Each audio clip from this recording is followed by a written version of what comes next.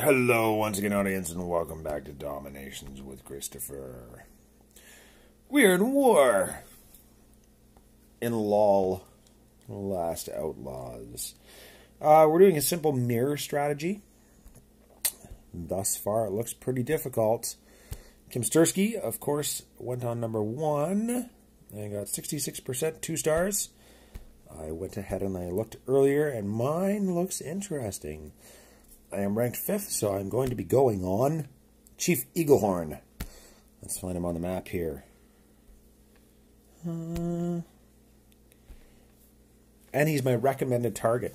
It's a different base. I'm actually I'm fairly nervous slash excited to to see how this plays out. Uh, so he's a 156 global, which is surprisingly low.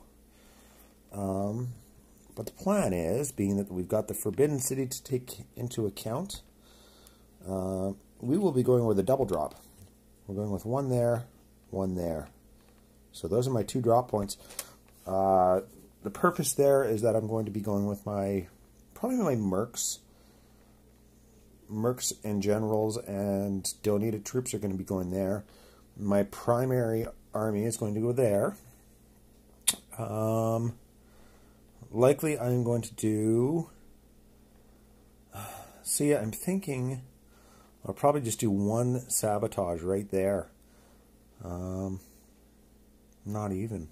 Probably do one sabotage right there in order to get this kind of chunk of buildings. Uh, the rally point is actually going to be, I believe, right back here. Uh, I do want to save my other sabotage in order to get, hopefully, this. Uh, my planes are upgrading, so I'm going to try and hang on to those as best as I can. I've got a decoy as well, uh, so I'm hoping that I can actually eliminate both of these before dropping that decoy, which should be helpful. Um, but I do perceive that will give us the quick victory. My rally point should probably be right in there, actually now that we talk about it. Thanks for talking that through with me. I appreciate it, guys. All right. I am just getting over a bit of a cold here, so if you hear me sniffing, please do uh, accept my apology. Generals, train. Let's deactivate you guys. Guy. And then we want to go with Joan and I think we'll go with Joan and Napoleon, my two fat ones, the fatties. All right, I do have the Red Baron, uh, and my you can see that I now have three howitzers, so we're up to ten, which is good. That makes me happy. All right, I just want to double check there. Let's see how we can get on.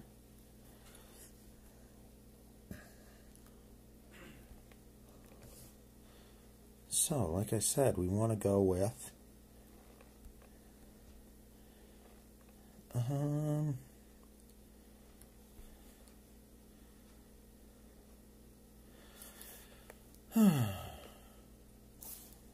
Let's go Mercs. Mercs. Generals. General. Donated troops sabotage that, take that, and then up here we'll go with that and that and that and those and the rest of those guys.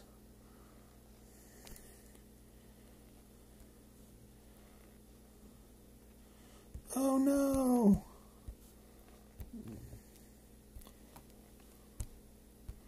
We're going to take that. See if we can get this Blitzkrieg down there. Uh, what are we doing?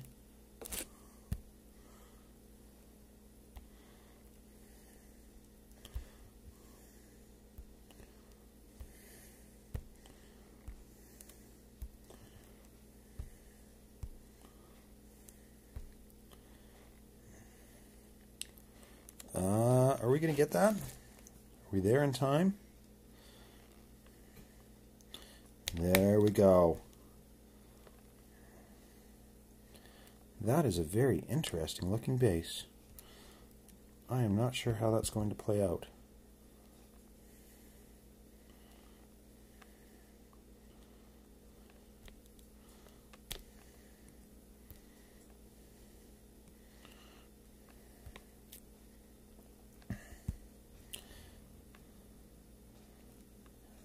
To have enough time here, folks?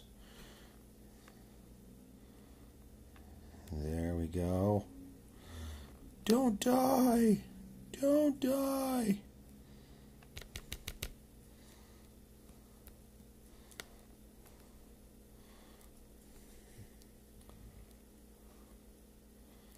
Um, I would rather. Nah, you know what?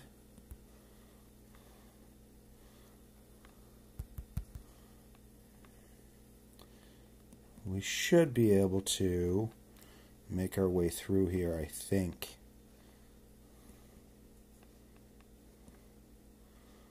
As long as my planes don't get silly, I think we'll be okay.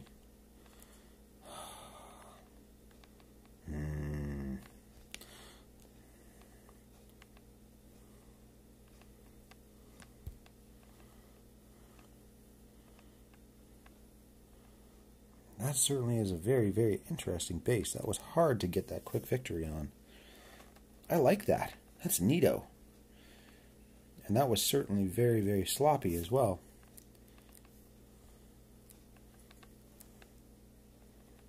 Uh, is there anything else that I've missed? I don't think so. There we go. Certainly sacrificed or had some heavy, heavy losses.